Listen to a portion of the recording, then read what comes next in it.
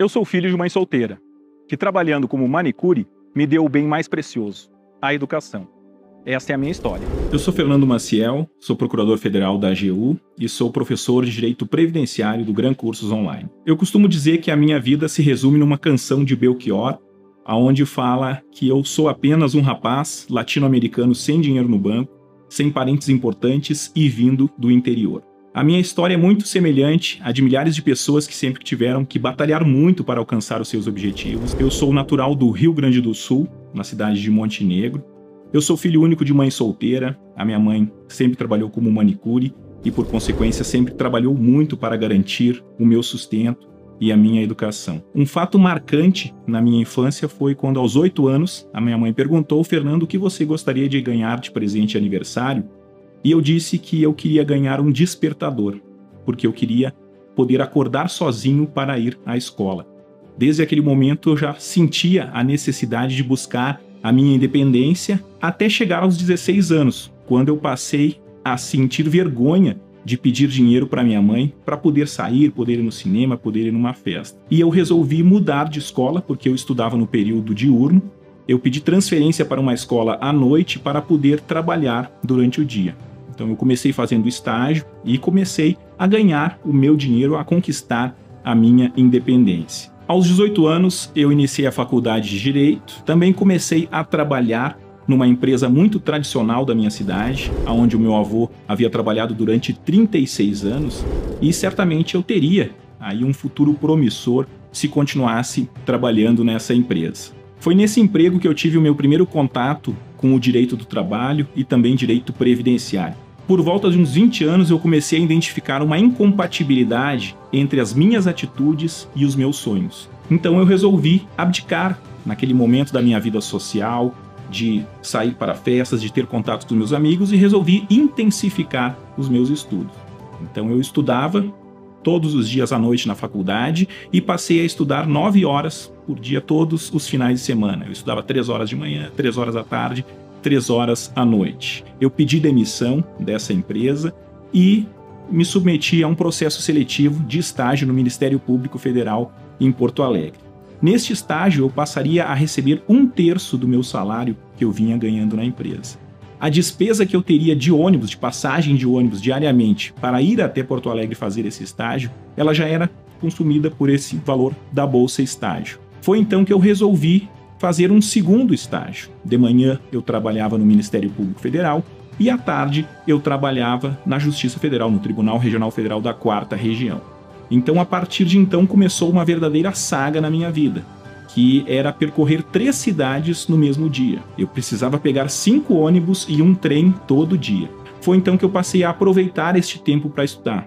Como eu destinava aproximadamente três horas ou mais do meu dia num transporte público, eu sempre andava acompanhado de um livro, de algum caderno, de algumas anotações, porque na época nós não tínhamos todas essas facilidades que, por exemplo, o Gran Curso Online nos disponibiliza. Depois, quando eu chegava na faculdade, eu assistia a aula e por volta das 10h30, 11 horas, eu tinha que pegar mais um ônibus e retornar para Montenegro. Chegando por volta de meia-noite, uma hora, e ter que descansar para, no dia seguinte, dar continuidade a toda essa rotina. Este foi um momento muito difícil na minha vida. Várias vezes eu achava que não teria condições de aguentar e pedindo a Deus para que me desse força para que eu conseguisse superar essas dificuldades. Aos 24 anos eu concluí a faculdade de direito, eu comecei a advogar na área trabalhista e previdenciária e resolvi me dedicar intensamente à preparação para concursos públicos.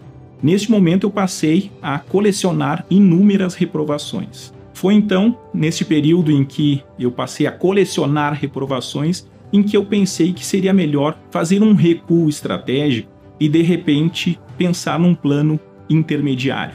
Eu passei a fazer concursos de nível médio e concursos de menor complexidade. E eu acabei passando para técnico judiciário e também para assessor jurídico no Ministério Público do Rio Grande do Sul. Isso fez com que eu passasse a ter uma estabilidade passasse a ter mais uma garantia financeira e me desse tranquilidade, me retirasse a pressão que eu estava tendo sobre mim de querer o quanto antes passar num concurso. Eu acabei me inscrevendo no concurso de Procurador Federal da Advocacia Geral da União. Então, como eu já vinha me dedicando há algum tempo, eu consegui uma excelente colocação na prova, foi divulgado o resultado da prova de Procurador Federal da Advocacia Geral da União, eu acessei o Diário Oficial e lá encontrei o meu nome. Nesse momento, a primeira coisa que eu fiz foi ligar para minha mãe e dizer que, que a partir daquele momento eu passaria a ser um procurador federal e que eu encerraria essa minha vida de concurseiro. Eu pude tomar posse em Porto Alegre, fiquei atuando na Procuradoria Regional Federal da Quarta Região. Em 2010, eu recebi um convite para exercer um cargo de chefia aqui em Brasília. E esse convite era para permanecer apenas por um ano. Foi quando, no mês de novembro, eu fui convidado para ir num congresso de direito do trabalho que eu conheci a minha atual esposa. Naquele momento em que eu me apaixonei à primeira vista, eu senti que a minha vida mudaria de rumo. E foi então que eu decidi pedir remoção de Porto Alegre para Brasília para poder aqui constituir a minha família. Foi então que um professor do mestrado, o Dr. Marcelo Borges, me convidou para dar aula no GRAM. Eu confesso que num primeiro momento eu tive um pouco de resistência porque não sabia como seria a minha reação diante das câmeras, como seria dar aula para uma turma telepresencial, mas naquele momento, quando eu gravei a primeira aula, eu senti a possibilidade de ampliar os meus horizontes enquanto professor eu ficava pensando, lembrando do meu passado, se eu tivesse a, a, possibilidade de ter a estrutura que o Gran Cursos Online oferece atualmente, eu poderia estar estudando no ônibus, eu poderia estar estudando no metrô, eu poderia estar estudando assistindo a final da Copa do Mundo. E um fato marcante, que para mim é considerado como um salário indireto, foi uma mensagem que eu recebi de uma aluna dizendo que o pai dela estava tentando se aposentar e toda vez que ele consultava um advogado, o advogado disse que ele não teria direito ao benefício. Foi então, ao assistir uma aula minha no Gran Curso Online, que ela verificou que o pai dela preenchia todos os requisitos para ter direito àquele benefício. Então ela formulou o requerimento perante o INSS e quando ela recebeu a carta de concessão do benefício, ela me mandou uma mensagem pelo Instagram agradecendo pelas aulas e pela mudança de vida que isso propiciou na vida da sua família. E com a aprovação no concurso, de fato, eu presenciei uma mudança de vida. Além de passar a ter uma condição de vida muito favorecida financeiramente, ter uma boa retribuição por fazer algo que eu gosto, eu passei a aproveitar a vida. Né? Tive condições de ajudar a minha mãe, de recompensá-la por todo o esforço que ela teve durante essa vida para garantir o meu estudo e sempre continuar acreditando em mim. Passei a ter condições de constituir a minha família, de casar, de fazer viagens, literalmente aproveitar a vida nessa fase de colheita para compensar todo o sacrifício que foi feito naquela fase de plantio. E na minha trajetória de vida, duas orações marcaram a verdadeira mudança. Eu sempre dizia que o suor do meu trabalho deveria se transformar em lágrimas de felicidade e também que nada é impossível para quem tem Deus no coração. E eu resolvi marcar estas orações fazendo uma tatuagem para que todo dia eu possa me lembrar daquilo que sempre me deu força para transformar a minha vida. Eu sou Fernando Maciel, procurador federal da AGU e professor de Direito Previdenciário no Gran Curso Online. Aqui todo mundo pode. Eu sou o Gran.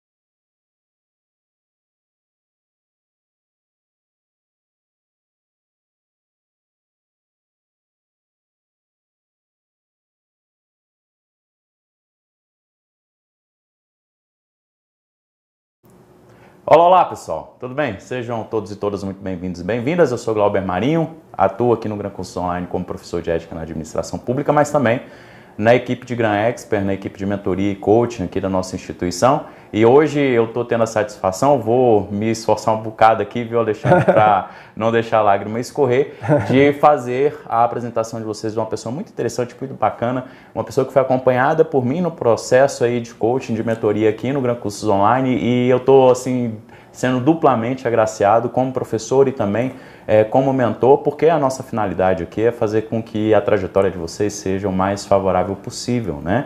É, que vocês passem pelas dificuldades, pelas barreiras, pelos percalços, mas que nós consigamos, como docentes, como mentores, fazer com que é, esse percurso se torne até prazeroso em alguns casos para aqueles que tomam gosto pelo processo de estudo e pela busca por cargos públicos aí na administração. Então, hoje eu apresento para vocês o primeiro colocado é, como pessoa com deficiência para a PGDF, Procuradoria Geral do Distrito Federal, para o cargo de técnico.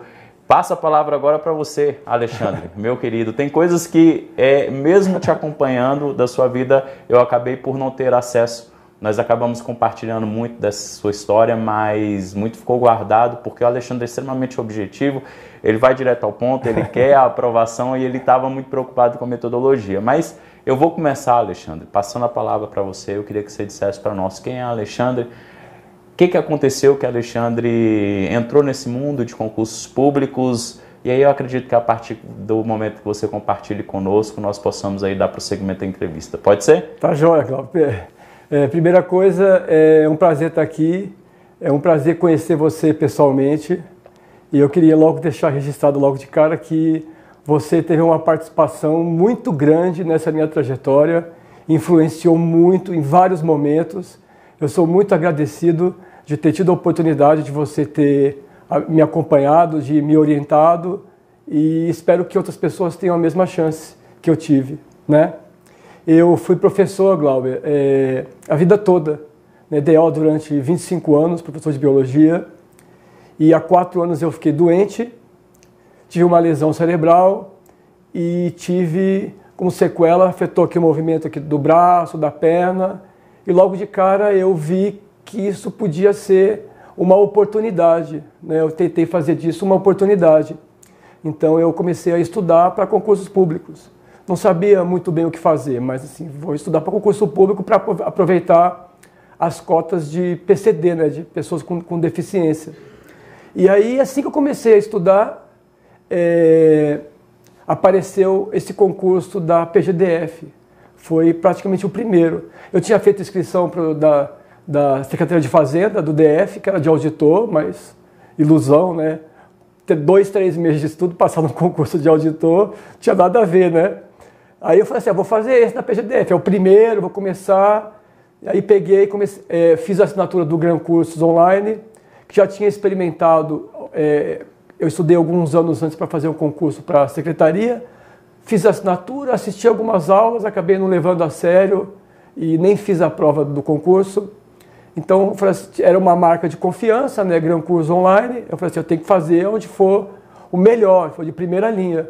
Fiz a assinatura e comecei lá a assistir as aulas, a ler os PDFs do meu jeito. Como eu fui professor durante muitos anos, eu sabia como estudar, como aprender, o que fazer, o que não fazer, e comecei ali do meu jeito. E aí sempre pesquisava, entrava lá no YouTube pesquisava coisas sobre concurso público. E comecei a ver um ou outro youtuber falando sobre concurso, sobre o mundo dos concursos. E aí um dia eu vi uma menina dando uma entrevista falando sobre um serviço de coach que ela tinha contratado e como aquilo fez a diferença. E aí surgiu na minha cabeça aquela dúvida. Falei assim, caramba, eu estou fazendo uma, entrando num mundo que é altamente competitivo. Eu não posso correr o risco de não fazer 100% da forma correta. Eu tinha que ter essa certeza, né? Então, qual é a forma disso? Ah, eu preciso que alguém que já passou pelo que eu passei e que obteve sucesso me diga o que fazer, entendeu? Porque Existe metodologia, técnica para tudo, então eu não posso desprezar isso. Então eu precisava escutar de alguém que sabia o que fazer, como eu tinha que fazer, como é que eu tinha que estudar, me planejar. E aí eu, eu vi no próprio Gran Curso Online um serviço de, de mentoria, não sei se é assim que, que era chamado na época, serviço de mentoria, de coaching, e aí eu contratei uma com você, né? Sem te conhecer, uma consultoria. Foi uma conversa de uma hora e você fez é, um planejamento, assim, um cronograma de estudos. Eu achei aquilo legal, mas não fiquei satisfeito, sabe? Eu achei, cara, não, não respondeu todas as minhas perguntas, eu precisava de mais. Uhum. E graças a Deus, naquele momento, eu tinha recursos para poder contratar o serviço, né? E aí vi lá o preço e contratei, não lembro se foram três meses ou seis meses, não tenho certeza agora. E contratei serviço, e aí é, você não tinha disponibilidade, mas como eu já tinha tido contato com você, tinha gostado muito, falei assim, não, eu quero, quero que seja com o Glauber. Né? Você falou que podia forçar a barra aqui, eu, eu liguei, forcei a barra, não, só quero se for com ele. E aí a gente conseguiu, né?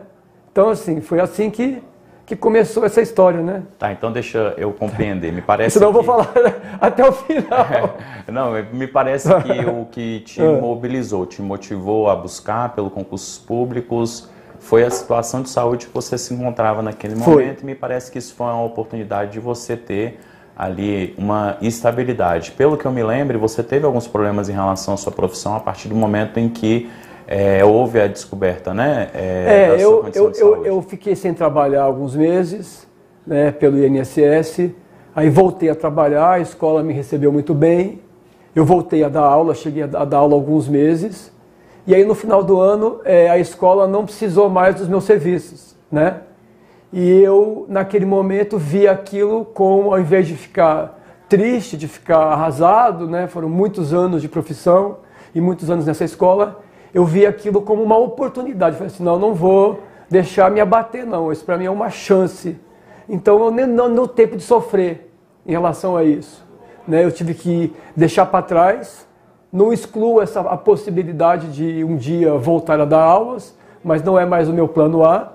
Mas naquele momento eu vi como uma oportunidade. Então isso foi o assim é, o que impulsionou, né?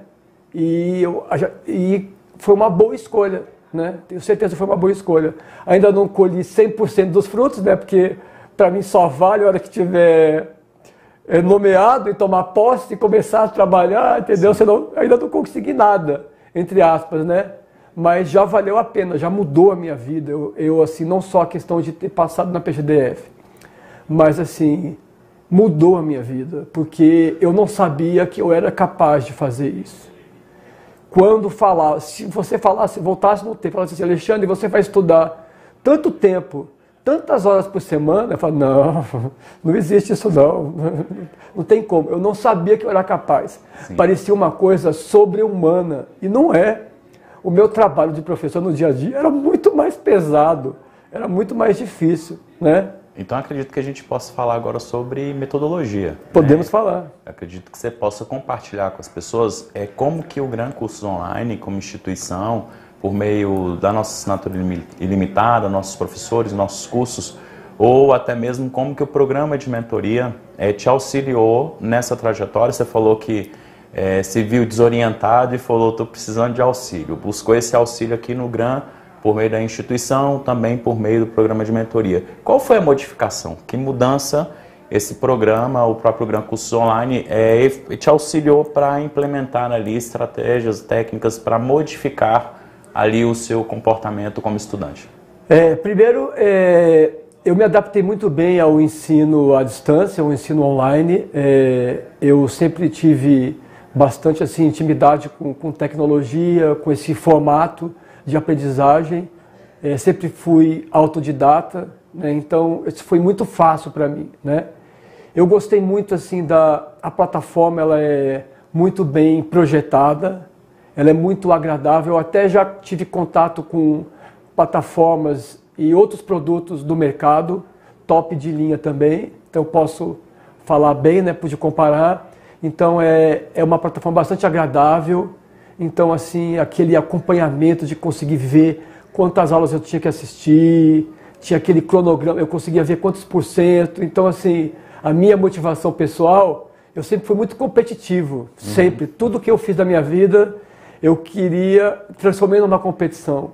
Né? Até quando praticava corrida de rua, era uma competição, mas era comigo mesmo, de fazer um tempo um pouco melhor, né, fazer uma velocidade um pouco maior. Então, assim, é, a plataforma meio que na minha cabeça gamificava a coisa. Eu estava sempre correndo atrás, sempre. Ah, eu preciso fazer, nossa, estou com 40%, 50% das aulas. Eu queria chegar ali no 100%.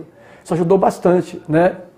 É, que mais? Mas quando eu contratei o serviço de coach, aí dentro da plataforma abriu-se é, um, novo, um novo produto que eu não tinha acesso, onde eu podia fazer os registros de quantas questões eu fazia de cada disciplina, de quantas horas eu estudava. Então aquilo, didaticamente, para mim foi muito bom, fez muita diferença. Mesmo hoje eu não tendo mais acesso a essa plataforma, aquilo influenciou, porque eu entendi o que, que era é, a questão dos registros. São muito importantes, né? Então aquela questão de todos os dias ter que registrar quantas horas eu estudei, o que eu estudei, quantas questões eu fiz, a porcentagem de acerto. É, o, o, nosso trabalho no início, durante muitos dias, né, algumas semanas, eu fazia relatórios diários para você do que aconteceu. É, é, o diário do estudante, né? É, isso aí foi interessante. Uma pessoa próxima a mim já tinha falado que isso era legal e eu pude sentir, porque não é um lance de eu escrever e passar para você, mas é um lance de que eu escrevia e eu, caramba, aconteceu isso. Eu, eu conseguia visualizar as coisas que aconteceu. Sim. A questão de número de horas estudadas, eu conseguia. O fato de eu registrar, não tinha que mostrar para ninguém. A minha mãe não tinha que olhar aquilo para dizer que eu fui um bom aluno. Mas aquilo fez a diferença, que eu, eu conseguia visualizar aonde eu estava indo bem, aonde não estava. Então foi maravilhoso, foi excelente nesse sentido. Deixa só eu fazer um apontamento em relação ao que você trouxe para a gente do Diário do é. Estudante, que lá em educação nós chamamos de metacognição. É quando a gente aprende a aprender, né? Uhum. A gente reflete sobre o nosso processo de estudo, consegue identificar o que foi positivo, o que foi negativo e o que, que a gente pode corrigir para melhorar aquilo que precisa ser aperfeiçoado, né? E esse Diário do Estudante, esse instrumento que eu utilizo para ter um contato diário com vocês, e que muitos aqui da mentoria, do coaching do Gran Curso Online também utilizam, é uma forma de vocês compartilharem conosco como é que está a rotina de estudo e a partir dali a gente intervir, né, trazendo algumas ferramentas para vocês modificarem e melhorarem. Eu lembro que o Alexandre chegou para nós com 70% de acerto de questões, não foi, Ale? E aí, depois da, da mentoria e de todo o processo, nós tínhamos disciplinas com quantos por cento de acerto? Ah, eu, o negócio é que eu, eu fazia tantas questões, tantas questões, que chegou uma hora que eu não tinha mais o que fazer. Eu tinha assim questões de AFO que eu tinha feito a mesma questão mais de 30 vezes. Então eu fiz é, todas as questões que o CESP já tinha aplicado de ensino médio, que era o nível do cargo que eu estava fazendo a prova. Né? E eu comecei fazendo só de ensino médio. Das disciplinas que eu ia fazer, eu fiz todas as questões que já caíram várias e várias vezes. Então eu sabia que isso ia ajudar, porque eu escutei muito isso lá no começo. Fazer questão é o segredo, porque as questões muitas vezes se repetem. E realmente isso ajudou muito, né, fazer muitas questões. Então foi isso. Essa questão da, da plataforma fez, fez a diferença. Né? Sim. É, acabou não respondendo. Mas é, repete aí, eu, eu percebi gente, que eu, eu me perdi. Né? Eu lembro que você chegou, estava é. travado em 76%, ah, tá, é. né? Falou, Galber, é. me ajuda porque eu não estou conseguindo é. avançar. O que, que eu faço? É. A gente implementou a metodologia e aí no decorrer aí do seu progresso, algumas disciplinas chegou a ter quantos por cento ah, Acima de 90%. 90%. Acima de 90%. Acima de 90%. eu tinha assim, eu, eu acho que eu sempre me comuniquei bem, o fato de eu ter sido professor me obrigava a ter que aperfeiçoar a escrita, a língua, a língua portuguesa, né? Mas eu nunca fui um bom aluno em língua portuguesa. Então isso aí no começo foi muito difícil, né?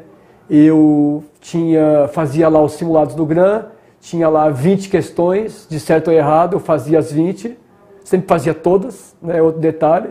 Sempre escuto as pessoas falando do CESP e tal, mas nesse caso eu tinha estudado tanto todas as matérias que eu sempre fazia todas as questões em simulados. E na prova foi assim também. Mas assim, voltando ao português, né? Eu errei de 20 errava 11, errava 12, era uma tragédia, negativo. Falei assim, não, vou deixar em branco. Mas aí eu insisti, Glauber, eu insisti. Então eu peguei lá, fiz o curso completo com o professor, depois fiz com o segundo professor, depois fiz com o terceiro professor, depois comprei um outro curso separado, que eu ouvi falar que era, ah, esse cara aqui, o Fernando Moura, que inclusive é professor daqui também, comprei o curso só dele, e aí comecei a fazer prova de português, muita prova de português, prova de português, e aí hoje eu sou um aluno nota 8 em português. Sim. Então para mim é uma, é uma vitória. Assim. Eu acredito que em português a gente tenha partido até também para a potencialização das questões para você entender a forma como a banca se portava, né, para dar um direcionamento para a maneira como era cobrado em prova. Isso auxiliou você também a ter um impulsionamento nessas, é, nessa nota. E eu lembro também que é, chegou um ponto que você já tinha feito tantas questões que a gente teve que partir para simulados. Falei, não, o que é de novidade é simulado, e se é uma novidade, vamos partir para a novidade, porque você pode ser surpreendido positivamente. Alexandre, a Judite Frota escreveu aqui no nosso chat: Estou imensamente feliz por essa live. Sofri um AVC em 2019, tive o lado esquerdo comprometido. Também comecei a estudar visando as vagas de pessoas com deficiência. Alexandre hoje é um modelo para mim. Hoje eu sou GRAM, então eu acho que era interessante compartilhar isso é, com você. Judite, o nome dela? É Judite Frota. Judite Frota. Olha, Judite, é, tem que aproveitar a oportunidade mesmo, entendeu? É, a minha filha, uma vez, eu fui usar a vaga especial no estacionamento a minha filha uma vez falou assim para mim, pai, que bom que você tem essa vantagem de botar o carro aqui, né? Eu falei, não, filha, isso não é uma vantagem, isso é para diminuir a desvantagem. Então, Judite, nada mais justo, e vou te falar uma coisa, é um concurso à parte, é outro concurso. É, você vai concorrer só com pessoas com deficiência. Então é uma oportunidade única que você não deve perdê-la, entendeu? Se dedique muito. É, eu me dediquei bastante e consegui. Não esperava esse desempenho todo, mas assim, é, e consegui. Então, vai, escolha lá a, a carreira que você quer, a área que você quer e se dedique que eu não acreditava que era possível. Quer dizer, eu suspeitava. Falavam para mim, não, você vai conseguir, você vai conseguir. Eu, assim, achava que as pessoas estavam sendo sinceras, que era verdade mas sempre fica aquela pulguinha atrás da orelha. Então agora não, agora, agora eu sei que é possível, eu sei que é, né? Então tinham lá seis vagas, né? Tinham mil candidatos, né? PCD aproximadamente. E o pessoal assim, caramba, como é que eu vou ficar entre os seis? Parecia uma coisa assim Surreal. de outro mundo, de outro mundo, né? Aí na reta final já comecei a ser mais ambicioso. Ah, eu podia ficar entre os três, né? entre os três. E foi o primeiro colocado. É, é, foi o primeiro colocado. Então, Judite, aproveita, minha filha, aproveita, porque você. É, foi uma forma também que eu, é, encontrei de ter uma vida digna. Porque eu percebi que não adianta essa questão da, da, de eu ter mobilidade reduzida, as pessoas são preconceituosas. Não é a mesma coisa, entendeu? Então, é, é, essa oportunidade que o Estado deu para pessoas com deficiência poderem ocupar cargos públicos, empregos públicos dentro de um, uma certa cota, é mais do que justo. Sim. É mais do que justo, então aproveita. É um instrumento de equidade, é. né, de justiça social. É. A gente compreender que é constitucionalmente válido, é um direito e conheço pessoas, estudantes que às vezes a gente acompanha que ficam com receio de fazer a inscrição como pessoa com deficiência, a gente fala é um direito constitucional, não é vergonhoso, muito pelo contrário, né, é uma dívida que nós temos diante dessas desigualdades de oportunidades que infelizmente nós é, mantemos ao longo de tantos anos, né, Alexandre? É, pode continuar. Quantas horas você estudava por dia, Alexandre? Essa é a pergunta da Luana. Quantas horas você oh, estudava Luana, por eu dia? Tinha uma, eu tinha uma referência de uma pessoa muito próxima a mim que passou no concurso público, concorrido, era 2 mil por vaga, e essa pessoa tinha uma rotina de segunda a segunda de 10, 12 horas por dia. Né? Então, assim, parecia uma coisa sobre-humana. Essa era a referência que eu tinha. Eu fiz assim, ó, eu acho que a pessoa tem que fazer assim, tem que fazer o mais próximo possível do melhor que ela pode. Sim. Sabe? Então, assim, Dentro dos recursos que ela Exatamente, possui, né? exatamente. A minha preocupação era essa, Glauber minha preocupação era o seguinte: eu não tinha o número de horas. Eu pensava assim: o que, que dentro das minhas possibilidades eu posso fazer? É isso? Então, quando eu chegava, eu tentava me manter em todos os aspectos, não só do número de horas, eu vou responder a questão do número de horas também, chegar o mais próximo possível. Quando eu estava sempre ali próximo do meu limite, eu ficava satisfeito. Eu falava assim, cara, se eu não passar, eu não vou me culpar, porque eu não, porque eu não posso é fazer corpo mole. E eu sempre fui, Glauber, muito responsável no trabalho. Eu aprendi lá desde pequenininho meu, com meu pai, com a minha mãe, né, a ser trabalhador, a, a vestir a camisa, a se dedicar. Então eu vi o estudo como um trabalho. Esse é o meu trabalho. Então eu tenho que fazer o melhor que eu posso. Meu pai sempre falou isso. Meu filho, você pode limpar a rua. Se você for limpar a rua, você vai fazer um negócio bem feito. Então é isso que eu faço. Então acho que a pessoa tem que buscar, dentro do que ela pode, o melhor. Esse, nesse período que eu estudei para a PGDF, eu tinha dedicação exclusiva. Eu não tinha compromisso nenhum. Eu podia estudar o tempo que eu quisesse. Eu tinha uma estrutura familiar, que é o que faz a diferença, tá? A estrutura familiar. Então eu estudava, eu fiz nas últimas 12 semanas antes da prova, eu fiz uma média de 43 horas líquidas semanais. Essa foi a minha média. Tinha semana que estava um pouco mais, semana que estava um pouco menos. O topo foi uma semana que eu estudei 60 horas e um dia que eu fiz 14 horas, mas foi um dia só. Né? Então, assim, você pode calcular em 42 horas, 43 horas, dividido por 7, você vai ter a média líquida diária, de segunda a segunda. Uhum. Né? Outra coisa que eu acho também muito importante, eu estudava todos os dias, de segunda a segunda não estudava só em horário comercial, de segunda a segunda. Sábado e domingo eu me dava uma folga e estudava só de manhã. E à tarde assistia um filme, tomava uma cerveja com, com os amigos ali no churrasco, né? fazia alguma coisa que eu gostava. Outra coisa também, como eu tinha tempo livre e a minha vida inteira eu acordei muito cedo, meu corpo acostumado, eu comecei a acordar 5, 5 e meia da manhã e começava a estudar muito cedo.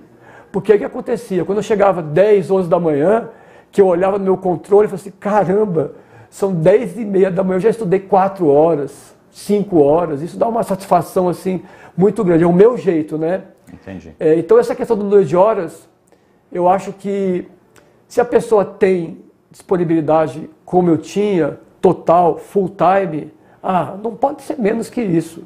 Não faz sentido ser menos do que isso. É o seu trabalho. Vai lá. É mais que o trabalho, é a sua empresa. Uhum. E o empresário, ele trabalha muito mais do que 40 horas semanais. Então, se você quer ter sucesso no empreendimento, você tem que se dedicar. Então, assim, eu vivia aquilo. A minha vida girava em torno daquilo. Quando eu voltar a trabalhar, os meus planos são mais ousados hoje. Ah, então eu acho que já posso associar com a pergunta da Marcela. É. Ou da, não, pergunta é. da Flávia. Você é. pretende estudar para outros concursos, Alexandre? É, na verdade, graças ao meu inspirado coach Glauber, eu um dia estava olhando lá os editais e vi analista 10 mil, técnico 5 mil. Eu falei, opa, peraí, eu quero ser analista, né? mas eu fiz biologia. Não tem biologia aqui né, para analista. Você vê que agora nem IBAMA tem, né? Para é, biologia. Gente, é, pode ter para perito, perito da É, mas eu, não, né? mas eu não posso porque tem TAF, tem Sim. curso de formação, eu não vou. É, eu não posso exercer essa é, aí função. Aí a pessoa com deficiência acaba tendo umas restrições, é, né? Depende, porque tem muitas deficiências que são até imperceptíveis e a pessoa tem direito. Então ela tem que investigar. Acho importante a pessoa investigar dentro da lei aquilo que pode né, que, ela, que ela pode Sim. usufruir. Tá, mas aí a gente estava falando da. Desculpa, me perdi. Da biologia. Que da aí biologia. O que, que eu vou fazer? É, aí eu pensei assim, ah, eu vou fazer. É, desculpa, eu, eu, eu, vou fazer administração. Eu vou procurar, sei lá, um curso de três anos de administração, que eu vi lá uns direitos, administração. Direito são quatro anos, vai demorar demais. Aí eu liguei para o Glauber. Glauber, nem estava é, usufruindo mais do serviço de coach. Eu falei, Glauber, desculpa te incomodar, eu estava pensando nisso. Aí você me deu duas sugestões. Você pode fazer pedagogia, que tem a ver com a sua área, você faz aí em um ano, ou você pode parar de TI. Olha que você falou TI, você deu uma luzinha na minha cabeça. Caramba, eu sempre gostei disso. Sempre fui um professor antenado com as questões digitais, né? Apesar de ser um outro foco, né? É, não é a questão é, da educacional, é uma Sim. coisa mais técnica. Mas assim, eu vou gostar, eu sempre gostei de exatas, tem tudo a ver comigo. E o que, que você fez depois da, ah, da ideia da No dia seguinte eu, eu me inscrevi é, numa graduação de curto período de dois anos, já estou na metade, faltam dois semestres em tecnologia da informação e comecei a ver que o negócio choveu, choveu. Então assim, você vê, eu já fiz duas provas para na área de TI, foi para o BRB e para a Caixa Econômica, eu não estava ainda me dedicando exclusivamente a isso. Não fui muito bem, mas já comecei a mostrar um crescimento. Então agora é isso, eu quero ser, decidir que eu quero ser analista de TI e vou chegar lá, entendeu? Eu não sei quando vai ser, mas eu vou chegar. Só vou parar quando eu conseguir. Então a, a mentoria, para além de metodologia de estudos, ela também te auxiliou aí até em focar numa área, pensar em possibilidades, né, que às vezes você não havia imaginado. É, tem uma coisa que, assim, na internet hoje em dia tem muito conteúdo gratuito. Então, se você for lá, você vai ter coaching, tem vários caras que são, assim, até aquele professor Diogo Moreira, que é da Receita Federal, né? ele é até bastante técnico, bem fundamentado, apresenta argumentações científicas para falar de como aprender, como estudar, mas o fato de ter um coach, uma pessoa que você possa conversar, nem seja cinco minutos de vez em quando, cara, fez a diferença, porque essas perguntinhas eu não tinha como fazer para o professor Diogo Moreira. Quer dizer, até tinha de repente, mas não sei se ele ia responder. Então a orientação, as dicas que você deu foram vitais, entendeu? Então, assim, algumas dúvidas que eu tinha. Será que eu faço para a caixa? Será que eu estudo isso? E agora? Faço isso aqui ou aquilo ali? Então, essa sua visão de quem está no meio, fazendo aqueles pequenos ajustes, volta ao aspecto inicial de eu preciso de alta performance. Eu não posso, é como um atleta olímpico. 0,1 segundos na natação é a diferença entre o primeiro lugar e o quarto lugar, não ganhar uma medalha. Então eu não posso cometer esse erro, tem que saber fazer a coisa certa, né? Às vezes, você ir para o mais barato sai caro, sai caro. Então, às vezes, o investimento inicial sabe? Como eu fiz nesse serviço de mentoria, não que você precise daquilo para sempre, mas aquilo vai abrir a sua cabeça, abrir a sua cabeça. Então hoje eu me sinto assim, profissional no negócio. Eu, eu posso encher a boca para falar. Eu sei o que tem que fazer para passar em concurso. Sim, sim. Eu sei o que tem que ser feito. Eu não tenho dúvida do que tem que ser feito. É, e esse era o nosso objetivo, né, Alexandre? É. Eu lembro da nossa conversa inicial, eu disse, olha, eu não estou te prometendo a aprovação porque a gente depende de editais, uhum. de questões emocionais, questões sociais, é. né, de uma é. série de fatores, da concorrência. O que eu posso é, me compromissar contigo é que você entra de uma forma, sai de outra maneira. Entra, às vezes, um aluno desorientado e temos ali, depois do programa de mentoria, uma pessoa com um alto desempenho. Né? Então, quando você diz, olha, não é para sempre, mas a gente tem ali três meses, seis meses, e a partir disso você passa a ter essa visão, eu sei o que fazer a partir de agora de maneira independente, ainda que o contato com o mentor, o coach continue, né? Porque vira e mexe, a gente se fala, vai passando a etapa de concurso, é. a gente se fala, a gente continua, eu continuo particularmente tendo contato com as pessoas com com que viram amigos, né? Assim, que eu acompanhei ao longo desse tempo, é, vão tendo aprovações, vão me convidando, a gente vai conversando, a gente se encontra, enfim, dentro do possível, né? É, Alexandre, eu aproveito a oportunidade porque é, é, eu já estive aí no seu lugar, sendo entrevistado pelo Gabriel Grangeiro aqui no canal do Imparável, inclusive a gente tem né, um, um kit a, ser, a te presentear que o Gabriel nos, nos concedeu. E quando eu estava aí, uma pergunta que ele me fez que me chamou bastante atenção é se eu tive alguma referência é, de vida para buscar essas aprovações que eu tive, né? E aí eu citei que minha referência foi minha mãe. Então, é, eu queria entender se você tem aí na sua vida alguma referência que te mobilizou, te motivou a querer buscar essa aprovação e dar continuidade né, a uma busca de melhoria aí na sua vida por meio dos concursos públicos agora na área de TI. Eu acho, eu acho que o, o sucesso da aprovação, ela realmente depende de vários fatores, vários. Realmente a concorrência é muito cruel. Tem muita gente boa estudando muito há muito tempo, mas é uma questão é, de esforço, né? Então eu acho assim, é, eu pensei nisso porque eu acho que a família faz a diferença. Então, assim, apoio da família, estrutura familiar, a questão emocional que você falou, eu sei que faz a diferença, tá? Porque, assim, uma semana antes da prova da PGDF, eu tive uma questão pessoal que me abalou. Escutei lá uma coisa que não queria escutar e me abalou. E eu fiquei pensando assim, caramba, se eu chegar do jeito que eu tô, daqui uma semana na prova, eu vou me ferrar, eu vou me dar mal. Então nesse momento eu senti medo, porque foram muitos meses de preparação, que a pandemia possibilitou esses muitos meses de preparação, e eu percebi que o emocional era, eh, podia prejudicar muito, né? E aí acabou que eu, a, a, a, a pessoa, as pessoas estavam próximas de mim, a família deu apoio, continuou me incentivando nessa semana. Não vai lá, você estudou bastante, você vai conseguir. Então esse apoio da família é o que faz a diferença. Né? Então eu acho que a referência tem que ser a família. A família tem que dar esse apoio. Se não tiver essa estrutura familiar, cara, é um peso a, mais. Se você que está me, me, escutando tem essa, essa dificuldade, você tem que abstrair de alguma forma, criar momentos em que você possa ficar isolado. Isso aqui é o meu trabalho, entendeu? E eu preciso disso para né, conseguir uma, uma vida melhor.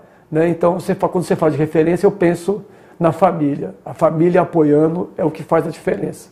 Sim, eu sempre digo que acordos familiares podem fazer muita diferença aí no nosso processo de estudo, né? Às vezes a, a família entender, compreender a importância de, por exemplo, você ter ficado integralmente por conta de estudo, com certeza recebeu o suporte de muita gente, é. né? É, não só no aspecto financeiro, mas no aspecto emocional, no suporte social, para que você se mantivesse, né? Durante todo esse período de pandemia, estudando aí, buscando, tendo foco na sua aprovação. Mas eu desculpa, é, mas é, Glauber, eu vi também ao longo desse tempo muitas histórias de pessoas que não tiveram as mesmas condições, porque eu fui um privilegiado e sou um privilegiado. Então eu sabia, quando eu estava estudando, eu sabia que pouquíssimos teriam aquelas condições de recursos, de apoio, de tempo, mentais, uhum. entendeu? Tudo influencia, né? Eu, eu vi que a minha família sempre se preocupou com educação, eu cresci escutando isso, fui professor. Então, foram vários, são vários fatores, né, que influenciam, né? Mas essa questão do, Gente, e é verdade, viu? Porque eu brigava com esse rapaz, eu brigava com esse moço. Oito horas de estudo por dia, Alexandre, é muito. É Vamos nada, tentar buscar nada. aí uma atividade, uma questão de lazer. Não que ele não fizesse, né? Mas a gente realmente acredita que horas líquidas de estudo exigem muito da gente, né? No aspecto é. cognitivo. Então, eu tentava equilibrar com ele, mas esse moço é muito obstinado. Era difícil tentar manejar. e é importante que ele fala sobre ele reconhecer que dentro das limitações que ele possui, ele ainda possui alguns privilégios, porque todos nós né, é, vamos ter as nossas potencialidades e nossas dificuldades, né, Alexandre? É. Se a gente não conseguir ter um processo de autoconhecimento, né, eu acredito que essa análise de metacognição sobre a maneira como eu aprendo me direciona para isso. Olha, isso aqui é um recurso que eu tenho. Né? Reconhecer que eu tinha ali tantas horas de estudo possíveis por dia e fazer uso disso, de me apropriar disso, é algo positivo. Agora, ao mesmo tempo, reconhecer que eu também tenho minhas limitações e vou manejar essas limitações para que elas não me venham a prejudicar em relação a essa caminhada, a essa trajetória. E reconhecer que cada ser humano é um ser humano, cada um possui cada um uma tem realidade uma história, distinta, é, uma é. história, e por isso que a gente não vem com modelo, com padrão, né? a gente sempre faz adaptações. Se eu tiver 10 alunos sendo atendidos hoje, os 10 alunos ou alunas vão ter ajustes de acordo com a realidade que cada um possui, porque se a gente partir do pressuposto que é todo mundo robô, máquina e fazer tudo certinho do mesmo jeito vai funcionar, não vai, né? Porque o que me afeta pode não te afetar e o contrário, né? O que é positivo para você pode não ser positivo para mim, o que pode te mobilizar pode não me motivar, né? É, é. Eu, assim, eu sempre fui uma pessoa fácil de se motivar. Então, motivação não foi, nunca foi meu problema. Eu sempre me empolgo com as coisas, entro de cabeça, então nesse ponto é fácil, né? Mas assim, Glauber, é realmente a, a questão da padronização não, não adianta, né? Tem que ser personalizado. Cada Sim. um é cada um, né? Então, eu acho que você, você falando aí, eu fiquei pensando assim, acho que a pessoa tem que fazer isso mesmo. essa autoanálise, botar em cima da mesa. O que, que eu tenho? Talvez até fazer uma lista no papel, dividir ali o papel no meio, assim, o que eu tenho de favorável, o que eu tenho de dificuldade, para você enxergar aquilo, né? Então, assim, é, ficar em casa é uma coisa, por exemplo, favorável ou desfavorável? Para mim era favorável. Sim. Eu tenho certeza que para muita gente é terrível. É um terror. A pessoa a tem geladeira, que fugir. a televisão. É, é entendeu? É, eu tinha, assim, sempre gente vendo eu estudar. Então, assim, não que eu, tenha que, dar, que eu tinha que dar satisfação, mas nesse ponto era mais fácil, porque a pessoa estava olhando, então eu, caramba, eu, eu, era o meu trabalho, eu tinha que estudar muitas horas por dia, eu não podia. Então, eu acho assim, se a pessoa tem 12 horas por dia para estudar, se ela estudar 4, tem alguma coisa errada, cara. Sim. Entendeu? Agora, se a pessoa tem 4 horas livres por dia, ela estudou 3, 3 e pouco, opa, tá excelente, entendeu? Então, eu acho que é isso. Por isso que é aí que eu acho que a orientação faz a diferença. É o que você faria. Peraí, quantas horas você tem por dia? Ah, você tem duas horas por dia? Beleza. Eu tenho certeza que você falaria, olha, então você tem que pensar assim, não dá para duas horas por dia você fazer o concurso da CGU que saiu edital hoje. Possível. Sim, né? tem um histórico, né? É, por quê? Porque tem muita gente boa que está há muito tempo se preparando. Então, tem que ser um planejamento a longo prazo. E eu aprendi a fazer isso. Com o TI foi, foi assim. Quando eu comecei a fazer lá TI, eu pensei, cara, isso aqui é um projeto para dois, três anos. Essa é a realidade. Passou um. Passou um já. Sim. Entendeu? Então, assim, e eu estou sentindo a evolução. E aí eu comecei agora a sentir a evolução, começar a acertar mais questões, está começando a subir a porcentagem de acerto. Isso me, cara, me dá uma, uma energia assim, caramba, olha só, Sim. dá para chegar lá, entendeu? Eu me lembro, por exemplo, de AFO, né? Ah. AFO é que... Você lembra que eu falava no começo de AFO? Não, Sim. eu gostei de AFO. Aí você, Alexandre, por que você gostou de AFA? Eu falei assim, porque é difícil pra caramba. É porque é difícil e porque todo mundo reclama. Entendeu? Então, Aí quando... você viu um diferencial ali Exatamente. sobre esse é, Então, assim, quando todo mundo reclama, reclama de AFO e acha que é difícil, aí que me motivou mais, entendeu? É o lance da gamificação e da competição. Eu tenho que estar, tá, eu, eu, né, eu pessoalmente, eu tenho que estar tá sentindo que eu tenho que estar tá correndo atrás de alguma coisa. Se eu estou correndo atrás de alguma coisa, Sim. cara, eu, eu não quero parar, quero continuar. É o que vai te mobilizando. O Antônio é... falou que é a história dele, cara. Ele teve Quem? um AVC, Antônio. Antônio. Teve um AVC em 2013, se eu não me é. engano. Ele ficou aí é, impossibilitado, cadeira de roda. É, mas ele conseguiu é, é, se recuperar. Hoje ele é policial penal, está buscando outras aprovações na área de concursos públicos, de segurança pública e ele vendo seu sucesso aqui, é, ele fica satisfeito né, de, de te ver assim também como uma referência de ter continuado na trajetória. E aí pensando nisso, eu já queria perguntar a você se nós temos em algum momento da sua vida, Alexandre, alguma passagem que você acredita que seja interessante que nós possamos compartilhar aqui com os nossos alunos e alunas no Curso Online, alguma coisa que você acredita que tenha sido impactante para você e que de alguma maneira isso é, seria positivo de ser compartilhado conosco. Em que sentido? Desculpe. Você acha que passou por alguma situação na sua vida? O, o Antônio falou que essa questão da cadeira de rodas, do AVC, foi bastante impactante. Isso, né, ter se, se recuperado, hoje ser policial penal, foi impactante para ele. Tem alguma coisa dentro dessa toda a sua trajetória, seja de concurso, seja na área pessoal, que te mobilizou emocionalmente, que você acredita que seja interessante que as pessoas é, tenham conhecimento? Ah, eu acho assim, é, a doença e a, a deficiência, ela mudou a minha vida completamente. Eu sempre fui muito ativo, eu sempre pratiquei esporte desde criança, e sempre competição, e entrava de cabeça. E nos últimos anos, é, eu praticava muito tênis, né? Então, quando eu fiquei doente e descobri que não ia conseguir correr mais, e jogar e jogar mais tênis, isso mexeu muito comigo. No começo foi muito difícil, né? Eu pensava na, na quadra de tênis e chorava, né?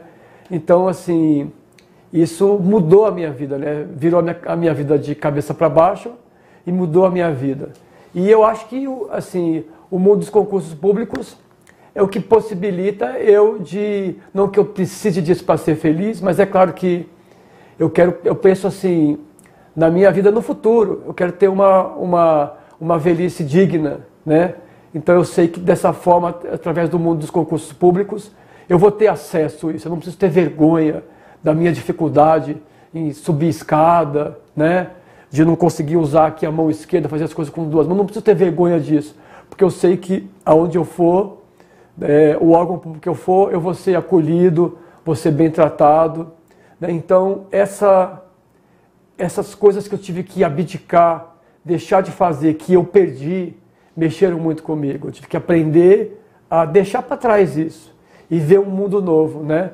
Então, esse mundo dos concursos possibilita que eu faça muita coisa. Até volte a praticar esporte. Eu descobri, depois do tênis de mesa paralímpico, comecei a praticar, cheguei a treinar alguns meses e tal. Até isso, um cargo público vai viabilizar que eu vou ter condições de bancar o treinamento. Sim. Eu sei que existe a possibilidade, no GDF, por exemplo, a carga horária pode ser reduzida em até 50% sem perda de salário, entendeu? O atleta pode viajar. Então é uma forma que eu sei que eu possa, eu vou poder ter uma vida digna, poder mesmo com as dificuldades que eu adquiri.